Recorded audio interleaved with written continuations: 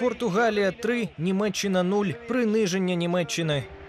Провал на Євро 2000 став основою для німецького успіху. Тоді у Нідерландах і Бельгії Бундестім посіла останнє місце у групі та вилетіла з чемпіонату. Середній вік футболістів був 31,5 рік. Молодих талантів не було видно.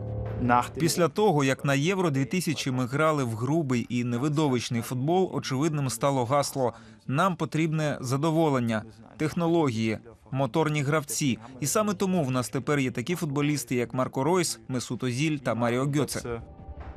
Після Євро 2000 футбольний союз Німеччини та клуби Бундесліги погодилися на кардинальні реформи. Почала діяти загальнонаціональна мережа. Близько 1300 тренерів на громадських засадах по всій країні відтепер забезпечують просування молодої еліти. На 366 базах по всій Німеччині на системній основі відбирають юні таланти віком від 11 років. Діти готуються до виснажливого темпу футболі. Головний акцент на швидкість і точність.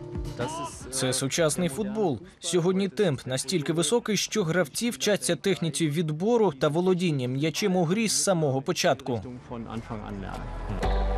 Наступний крок для кращих гравців команди Бундесліги. З 2002 року вони зобов'язані мати молодіжні академії з найвищими стандартами. Їх вже 54 у Німеччині. Молодіжна академія футбольного клубу Шальке одна з найуспішніших. В останні роки тут відкрили найбільше міжнародних зірок. Дві найвідоміші Мануель Нойер та Месут Озіль. Клуби першого і другого дивізіонів інвестують щорічно понад 130 мільйонів євро у розвиток інфраструктури своїх молодіжних академій. Чи зможе Німеччина спиратися на успіх чемпіонату світу? Буде видно вже на цьогорічному євро. Талантів у будь-якому разі вистачає.